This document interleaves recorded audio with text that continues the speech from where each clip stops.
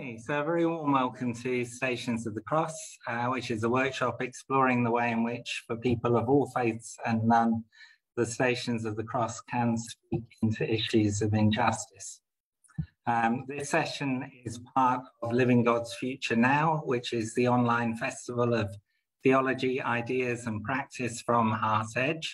And HeartEdge, for anyone that's not aware, is an international and ecumenical movement for renewal within the broad church. We are a network of churches growing compassionate responses to needs, cultural and commercial activities, and congregational life. So we'll be dropping information about HeartEdge into the chat, including links um, so that uh, you're able to join if you wish, um, and uh, especially information about other events that are coming up in our online program. Um, during April and May in particular, um, we've got a large number of events on the visual arts, and uh, we will provide uh, more information about those um, towards the end of the session.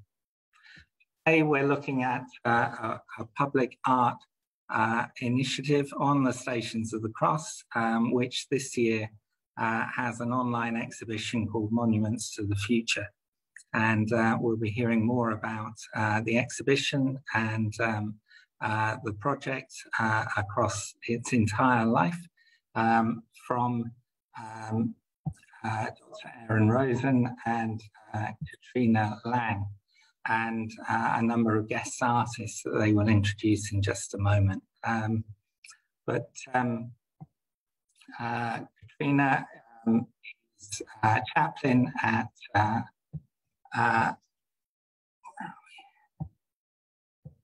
Martha and St Mary's Anglican Church in Leuven and assistant chaplain at Holy Trinity in Brussels. And uh, Aaron Rosen is professor of the religion and visual culture uh, of religion and visual culture and director of the Henry Luce III Centre for the Arts and Religion at Wesley Theological Seminary. So um, we're very pleased to have them and uh, the artists that are joining them um, with us today. So I'm now going to hand over to them to take us through the rest of this session. Welcome and thank you for joining us today.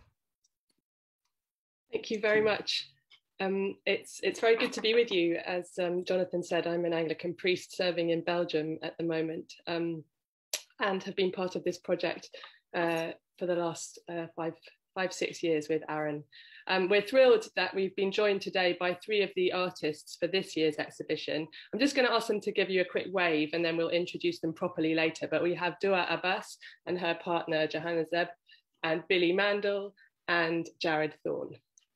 So um, you're going to hear lots more from them because they're the interesting ones who actually produce the art for these exhibitions. Um, but before I do hand over to them, Aaron and I are just going to give you a bit of background about how this exhibition came about.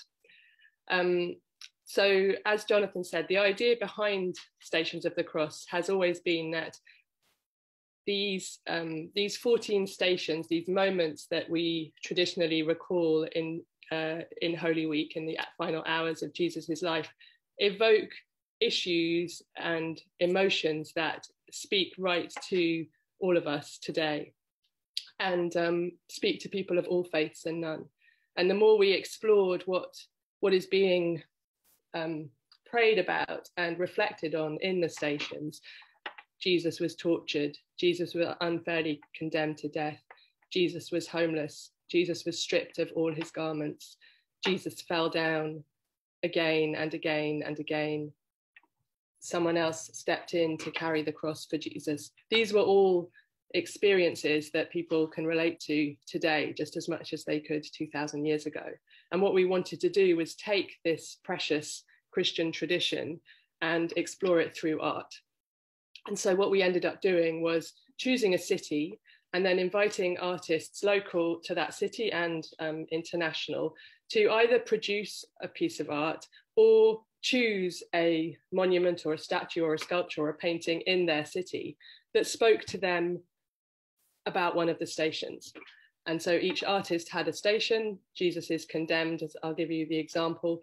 Um, we commissioned an artist in Washington, DC for the year we were in Washington to produce um, art. He was an artist who himself had been on death row and come off, and he spoke about his experiences. And he had, since coming out of prison, discovered um, a whole, well, actually in prison, discovered his artistic talent and then put it to amazing use after leaving prison.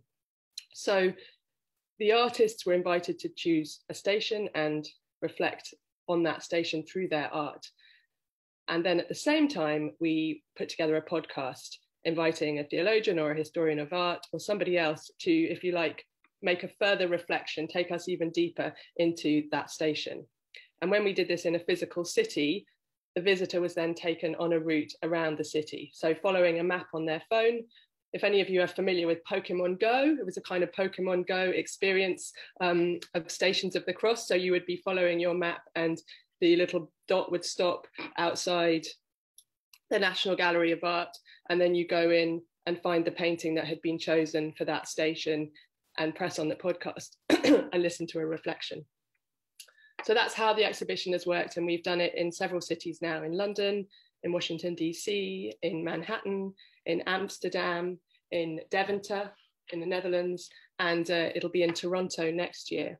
But as uh, Jonathan said, this year we decided to make a virtue of the fact that we couldn't be in one city physically going from station to station um, and go global. So this year we invited artists from all over the world to offer a piece of art that spoke to their experiences of the last year. And I'm going to let Aaron talk more about that. But just before I do, the other thing to say was that um, when they when they chose their art, it was a wonderful experience of reflecting with them, people of Christian faith, Muslim faith, and no faith, about how this piece spoke to them about the Stations of the Cross. And as someone who has worked a lot in interfaith work myself, I've always been um, humbled and and really convinced that the power of interfaith dialogue is that it helps me go deeper into my own Christian faith. That by virtue of speaking to a Muslim and learning from a Muslim, I am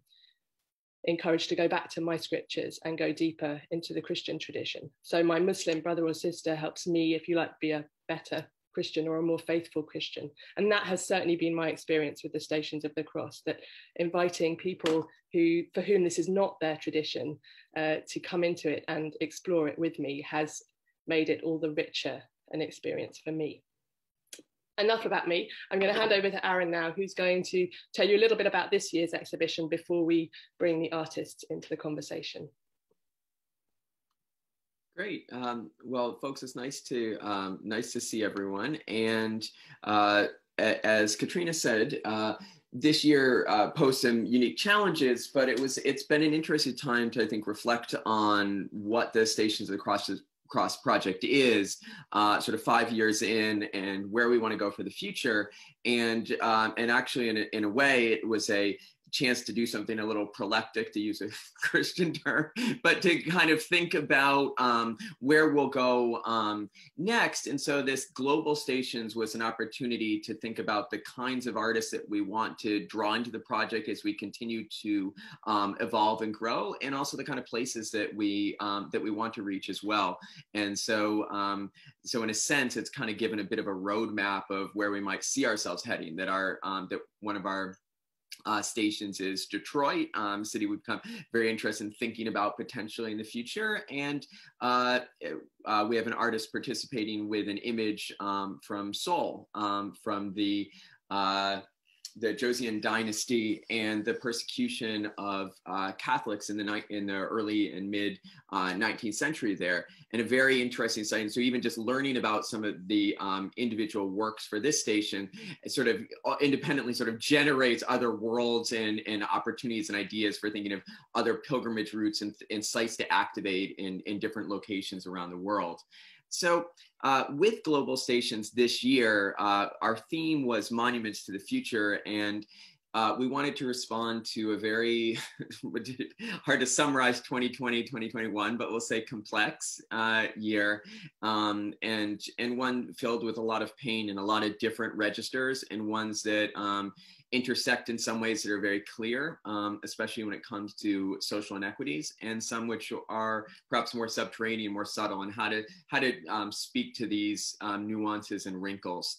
And so, uh, one of the most uh, visible parts of this year was the um, uh, the, either the reconfiguration, repainting, or taking down of monuments which uh, have somehow managed to furtively or not so furtively survive far past um, times when they should have, which is uh, monuments to racists, um, uh, monuments indeed celebrating racism. And so the reclamation of those has been some of the most powerful um, and actually some of the most inspiring parts of, of such a challenging year was to see um, those legacies being severely questioned and uh, changed um, under pressure for social justice.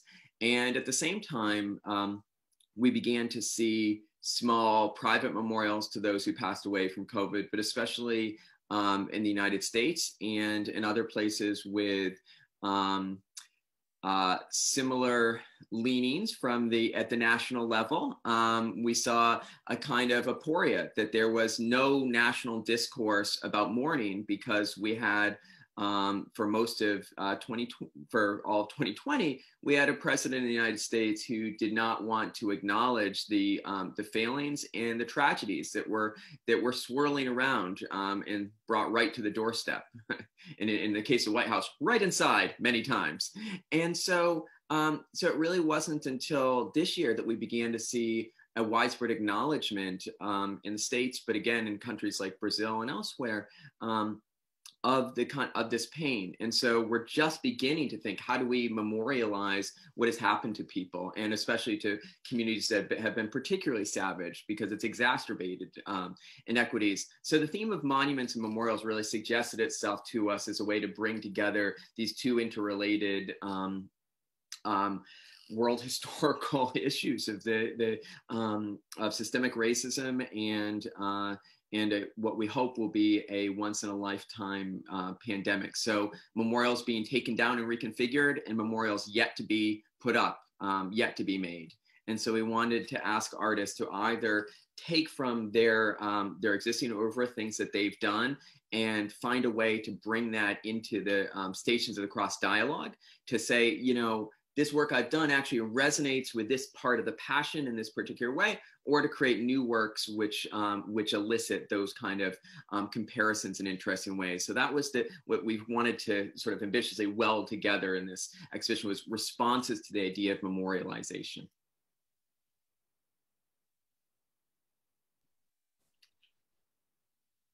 So I think I'm going to share my screen um, now uh, while um, I invite uh, Dua and Billy and Jared to uh, talk about their work, and maybe maybe we'll take it in order of where you appear on the on the station's path. Um, so I think that would mean that you go first, Dua, and I'm just going to bring it up now.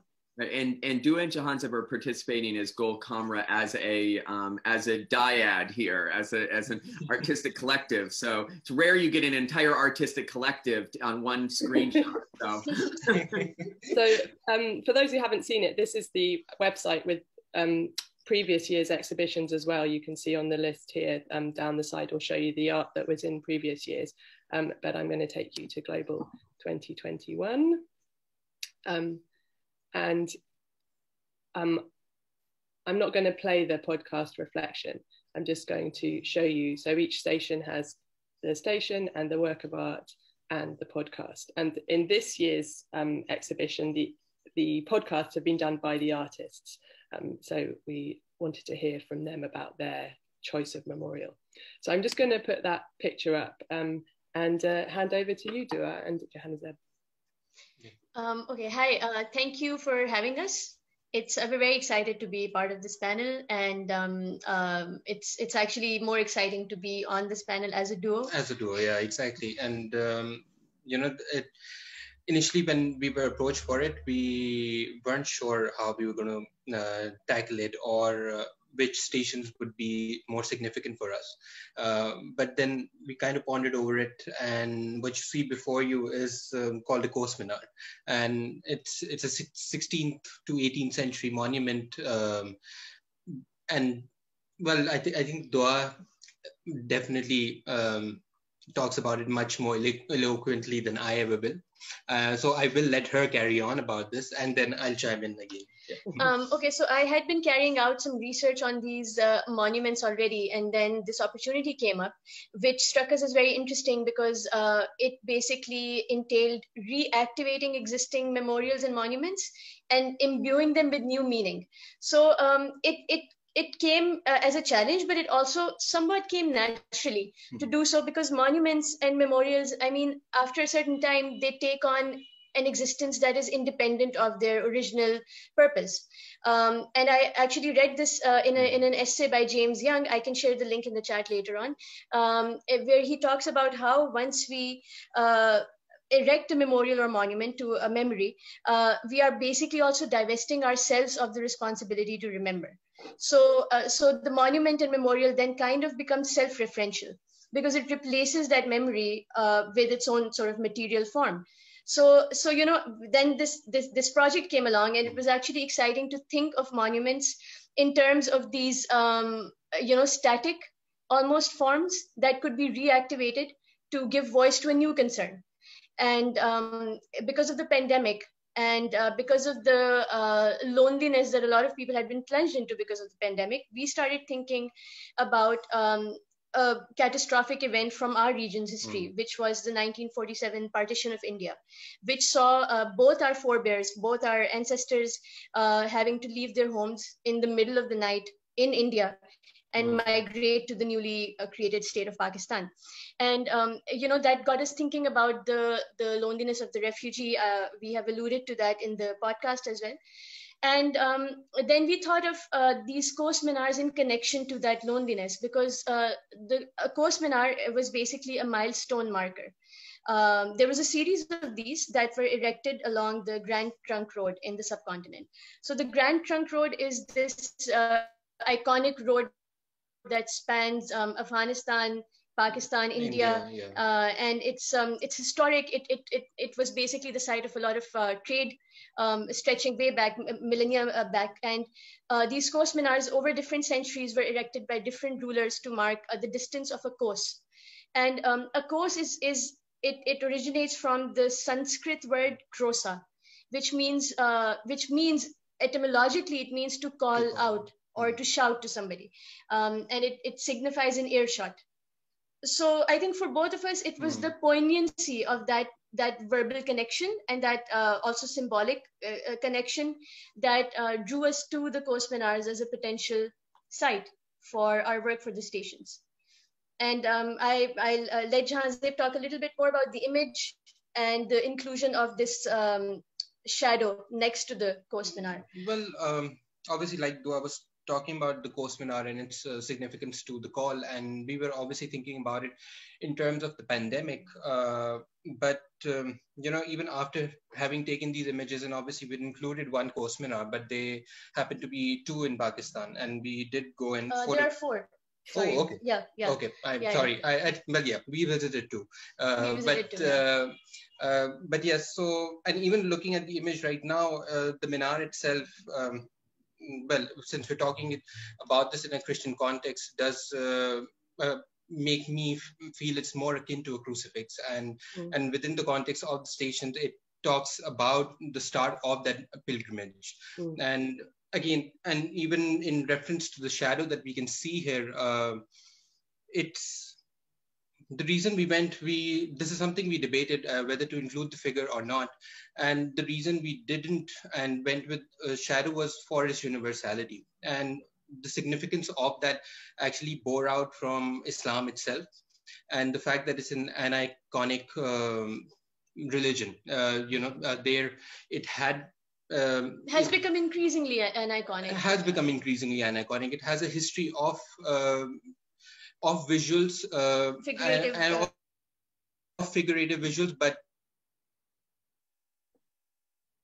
exactly uh, with time more ornamental and and i and that's what we felt that the shadow in itself um, signified became symbolic um, in that essence that it could be universally applied to everybody. It could be relatable for everybody.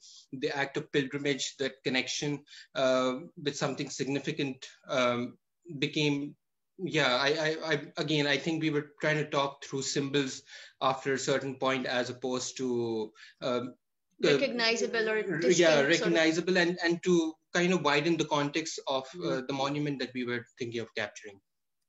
Thank you. Um, i'm going to stop you there and, and come back to you in a bit to ask a bit more about your about the perspective that you bring, bring to this christian tradition. Um, but now i'm going to move on to billy and her station. Um, sorry to whiz you through like this. Here we go. So Billy did station seven, Jesus Falls for the second time. Um, thank you so much for, for having me, Aaron and Katerina. It's wonderful to be here. Um, so let's see. Um, I had big so much much of my my work as as an artist sort of deals with I think of the the politics and the poetics of architecture and landscape. Um, I had been photographing um, this landscape before Aaron um, contacted me. So 2000, some backup. So 2000, 2020 was the most destructive wildfire season um, in California. I grew up in California. I'm living in Los Angeles right now.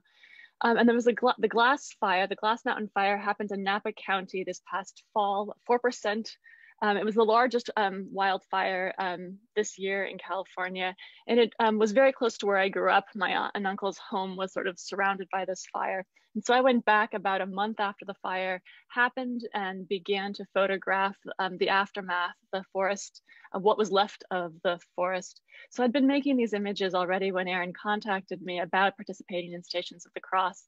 And there was a way in which the this sort of burnt destructive landscape felt like a um, an appropriate anti-monument to the year, thinking about our climate crisis, thinking about the way um, white supremacy and capitalism has is implicit um, in our climate crisis. And so I began to make um, these sort of very, I have been making these sort of dark photographs as a way of thinking about the darkness that um, we are all sort of trapped in right now with these, um, with where we are um, in terms of our climate, that there's really, we're sort of entangled in this destruction. There's no clear way out. Um, while I was in the forest making these pictures, I felt both complicit and I felt both helpless. Um, I knew I was complicit because so much of what I do as a person and, some, having lived in this area for a while is bound up in why the fire was happening. I'd eaten in restaurants and shopped at stores that were part of the overdevelopment that had led to these um, led to these fires. I consumed probably too much electricity. Um, and I also felt both helpless. I didn't know what I was going to do other than be making these photographs. Um, and I feel very similarly in terms of the, um, my, my role and globally in terms of climate crisis, and I think many others do as well. Um, in terms of going back to the idea of monument for a second, the, um, the place where this fire was started was called Glass Mountain, and that's actually what I've been calling this sort of series of projects that I've been doing. Um, this is in Napa County in Northern California, and it's very close to Silicon Valley. Um, which I'm sure everyone knows about, right? All of the all the wealth, Facebook, Google, all of those executives go to Napa County like for their vacation. So this is sort of the um, the place where people go for the summer, for the weekend, to have a nice time. And so there's a way in which all of the money and the wealth and the capital and power of Silicon Valley and all of all of what that stands for has sort of been the impetus or the underlying or the groundwork almost for these fires up in Napa. And I thought that the, that the idea of a glass mountain sort of captures um, both the frailty and the hubris of California right now. Mm. The idea of this um, space that was sort of built on this um, monumentality of, um, of technology and power, but that was really very brittle and very frail and would um, sort of end up um, like this poor manzanita tree that you're um, looking at, which is not the kind of icon, not the kind of iconic fire destruction that one necessarily wants to see. The sort of you know huge burned trees, which sort of almost have a cathartic release, but sort of more of a kind of a pathetic in a, in a, in a poetic term, the, the, the, idea of like this kind of pathetic entangled destruction that is mm. kind of harder to wrap your mind around. Mm. Um, I think maybe I'll leave it. I'll leave it at, Thank at you, Billy. for now. I hope that gets to it yeah no that's brilliant and again we'll definitely come back to you for some more um, jared i'm going to scroll us down to yours um, which is crucifixion. Yeah. Um, yeah, so uh, for this, uh, when Aaron and I talked, uh, the 13th station is very much about um, what happens to Jesus and like just the, the really like the visceral sense. And I thought about this project I started in, I think, 2017, where I started collecting autopsy uh, reports or medical examiner reports of uh, Black men who have been, Black and brown men who've been killed by the police. Um, and it's interesting in 2020, I feel like there was this uh, racial awakening, but I think for many uh, people of color, this, this is, you know, unfortunately, uh, George Floyd's death wasn't, or murder wasn't anything new. And uh, I feel like these thoughts have been on my mind.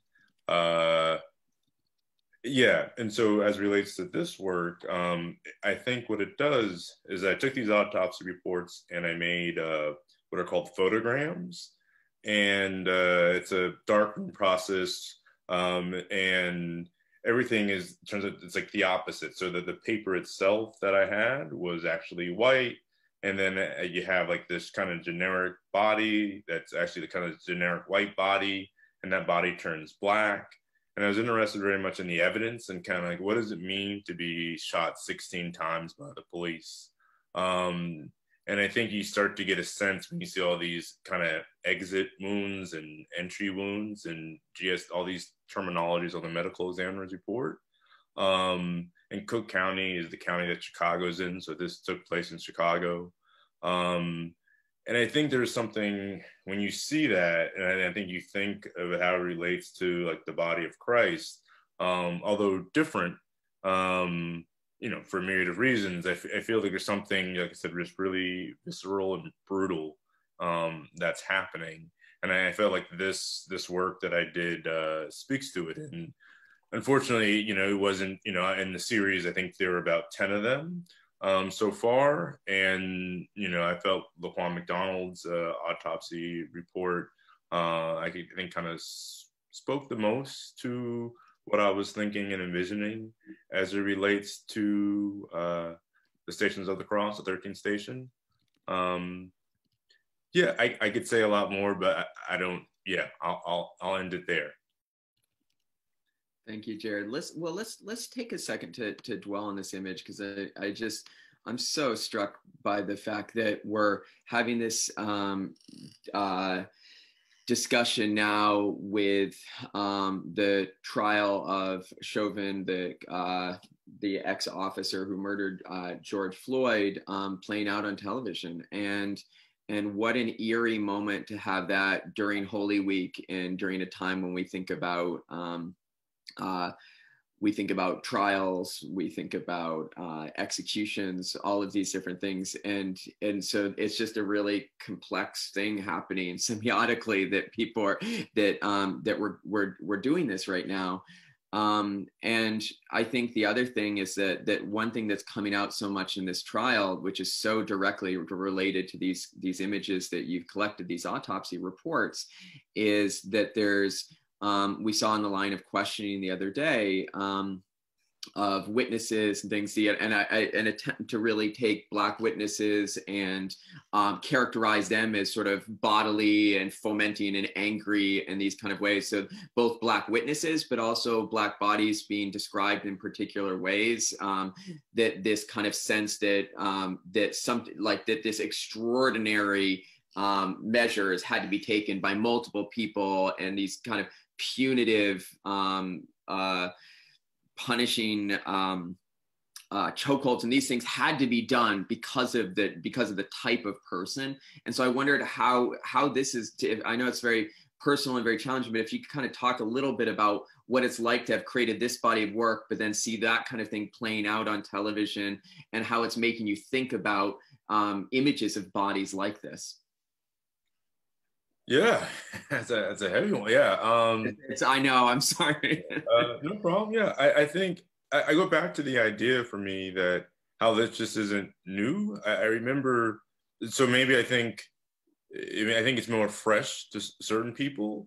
Um, for I, I remember, you know, as, as uh, I'm fortunate to have uh, both my parents, and I remember my father and I having a very long discussion after Amadou Diallo was shot in New York, and really trying to figure out like what that meant and why. And my dad's from the city, from from New York City, and at the time we were living in Cincinnati, where I went to high school and and I remember he was tr- just trying to explain like what it meant to be like the the the yeah what it meant to be like a black man in America and how like you're always a threat and like what does one do um what does one how does one react to the police even if one's not doing anything wrong um yeah i think in the trial you see you know like the, the threat of the police you know like people witnessed this this wasn't in a you know some dark alley somewhere and people saw this murder taking place, but they were in fear of intervening.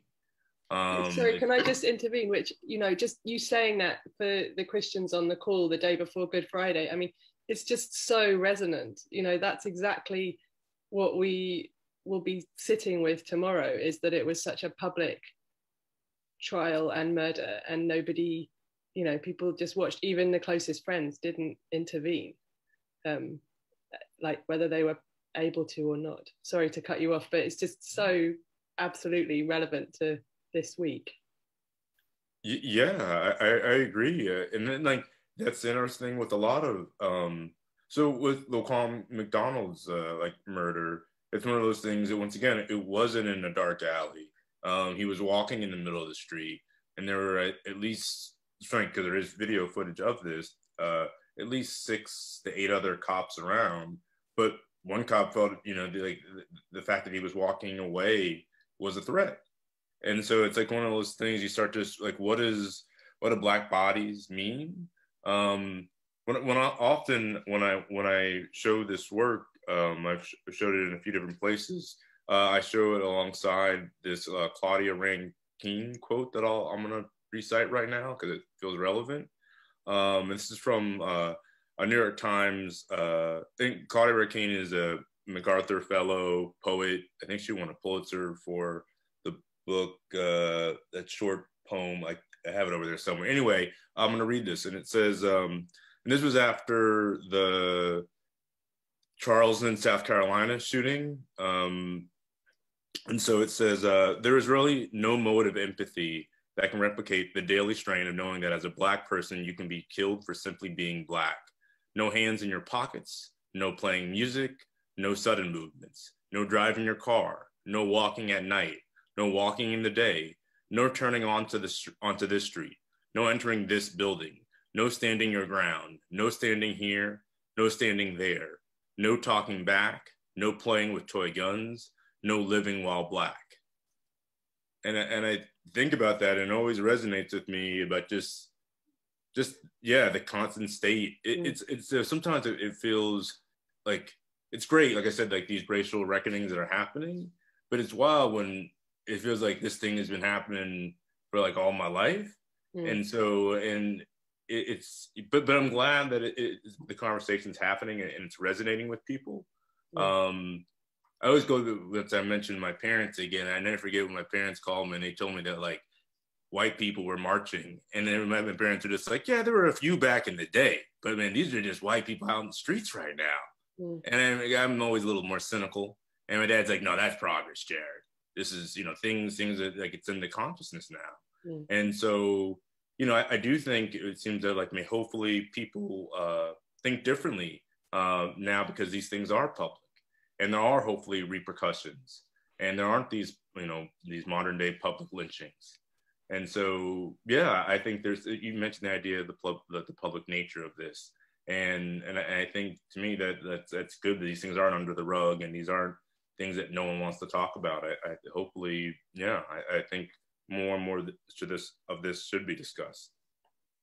Uh, thank you so much, Jared. I think like, um, you know, one of the things that came through both in the words that you, um, you read and, and some of the reflections is the way um, just that bodies are signs um, and um, and and that comes through so powerfully in this work that you did. And it also reminds me how, in the end, the crucifixion, I mean, for all of the theological elements, the narrative elements, all the different things that we have as we discuss that kind of imagery, we forget that at the end of the day, it's a it's a body which is transformed into a sign. And it's one where where the form of crucifixion was meant to turn it into a sign of degradation, but where that degradation um, was symbolically transformed again by Christian communities in the ensuing centuries um, to be one of, of victory. And so so there's a sense in in this image that you have that it's a it's a it's a sign of um, it's a sign of moral decay and prejudice and things perpetrated against a body but there's perhaps just as faint as hope that of these kind of reversals and um, and, a, and a chance for something to um, to to transmute um, to become a sign of something different. Um, so thank you so much for sharing that. I think one of the things that's really interesting in the the works that we um, that we have from the th- um, the three pairings of artists groups um, four bodies three three groups here uh, is to um, is to think where is the presence of the person? Where is the human in this? And, it, and it's so it's interesting that in jared's piece it's that the um, that the reality of the person's life gets um, gets truly flattened down into a diagram, into an image of the thing of the afflictions that they suffered before they were killed. Um, when we turn our eye to Billy's work, we have this this sign of human presence that, uh, in a way of uh, you know, as Billy said, of you know, this these are places where people live, and we are reflecting as we see um, these uh, these charred limbs. I think it's very uh, helpful to use that, that, word here. These charred limbs of the tree that we're thinking about. Um, what have humans done? Where do humans go um, from here? What is our sense of complicity? So there's a kind, so it invokes a sense of responsibility and presence. And then with um, Dua and work, there's a sense that the human presence there is a shadow that which I thought was so evocative um, how you how you guys spoke about that. Um, and and then a way the bot the the shadow being the you know being the opposite of the um, uh, uh, or or being um, in a binary with the with the monument itself. And so it's interesting that in these three works, they're all sort of revolving around the body, but taking these kind of oblique or orthogonal ways of, of coming back to the body um, as it as an echo, a diagram, um, in these kind of manners. So it's um, so I think we we got lucky in a sense that but not only do you all you know talk about really important things, but you also you know ask us to talk about um, personal responsibility and and personal histories in in different ways. And I wondered um, if we might talk a little bit about something that um, Katrina flagged earlier, which in terms of um, people and, and, responsibilities is what kind of um, what does it mean? And maybe Dua and Jahanzeb, you could start. You know, what does it mean to participate in this in this kind of project, knowing because um, I often ask this to Jewish artists, being Jewish myself, is that you know how do you um, how do you engage with Christian material because it's everywhere. Um, what does it mean for your kind of positioning to interact with um, with this kind of uh, story, this kind of uh, material, and then we'll kind of get to other anxieties other folks might have about what does it mean to deal with religious iconography so directly. Um, I, I think I'll yeah. begin by uh, mentioning that I was I was brought up in a Shia household. So in, in Shia Islam, there is still a more lenient um, um, sort of approach towards figurative representation, figurative imagery, and in um, and in terms of visual culture also, uh, Shia Muslim households still have uh, their own sort of repository of uh, iconographies that are still as relevant today as they were, um, you know, decades or even centuries ago when certain traditions started taking place. Um, basically, commem- commemorative traditions uh, to do with uh, uh, Imam Hussein and the other Imams. So uh, for me, because I participated in, in the Stations of the Cross 2018 um, as an independent, as an individual artist, then as well as now, it was the basically the reconciliation of the spiritual with the embodied or the physical. That that really spoke to me. And uh, i think that brings with itself a kind of open-endedness that can be reinterpreted no matter what uh, religious uh, Mm. uh, you know in, inclinations you have or even if you don't have any. And i think for me it was uh, I, I believe it was the open-endedness of the idea of a pilgrimage or of a certain kind of narrative arc combined with a pilgrimage these different uh, sort of milestones these different stations and um, I, I can actually see iterations of that in a lot of Shia Muslim traditions as well, particularly the ones to do with uh, Muharram, which is a month in which the events of Karbala are um, remembered. And there are processions that try to trace the journey of Imam Hussein from uh, encampment to his uh, the place where he was massacred. And uh, they kind of echo in, in certain ways the stations of the cross. You know, him saying farewell to the females of his family, saying farewell to his uh, infant or or taking his infant out uh, for martyrdom and then you know sort of so they kind of echo this this idea of a journey from station to station um, Well, yeah, I unlike Dua wasn't born in a Shia household, and um, but yeah, my religion, religious um, input when it comes to visual culture has been next to nothing.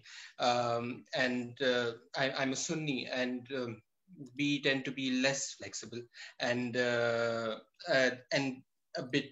Um, well, thankfully, my household wasn't, but uh, more fanatic than the Shias. Uh, uh, however, so you know, when it came to this project, for me, for me, it was truly spiritual. I, I couldn't connect to it on a religious point of view. Uh, I myself, religiously, am pretty aloof, uh, but uh, so I usually refer to dua for um, any input when it comes to that.